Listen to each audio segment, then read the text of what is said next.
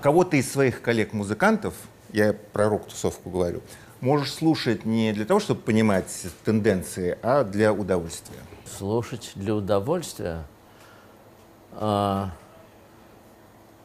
иногда Шевчука, а, всегда БГ, всегда а, Ундервуд, всегда Кортнева. О. Ну, старый Наутилус я очень люблю, но я его настолько хорошо помню, что мне не обязательно его ставить на вертушку. Я могу в голове, как Битлз, понимаешь, там включить и проиграть ту или иную песню.